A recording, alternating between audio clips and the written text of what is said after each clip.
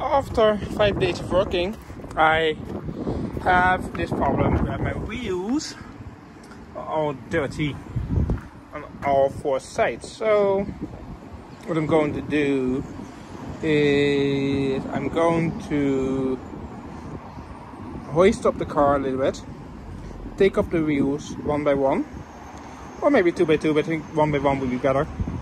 Clean them and put them back on the car.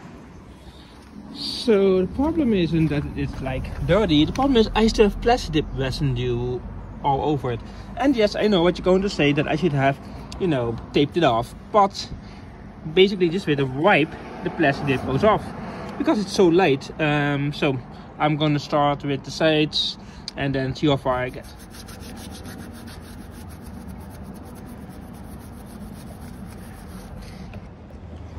So here is one done. I don't really care enough to make them all shiny and stuff.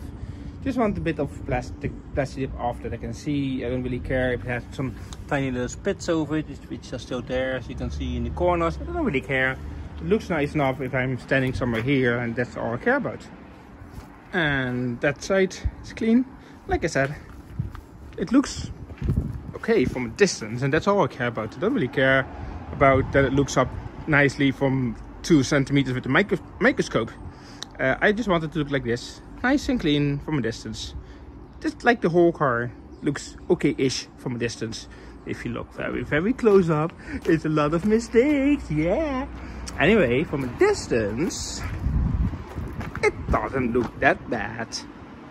Now I have to actually move the car um, because the other side, the back, is too close to the wall and it's really hard to uh, hoist up the car from the other side. So in case you have noticed, the car is nice and blackish, but I also a bit of my tail lights.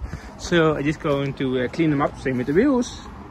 Just a bit of this, and wobbly wobbly.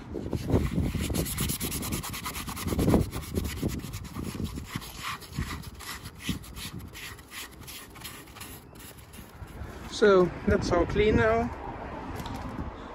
And I also did indicators and I did the sights so and the windows as well and all that stuff. Except the back I haven't touched the back yet so I have to do that still. So I moved the car. This is a lot more space to work with so I'm just going to hoist up a tiny bit. Start with the front and then the back.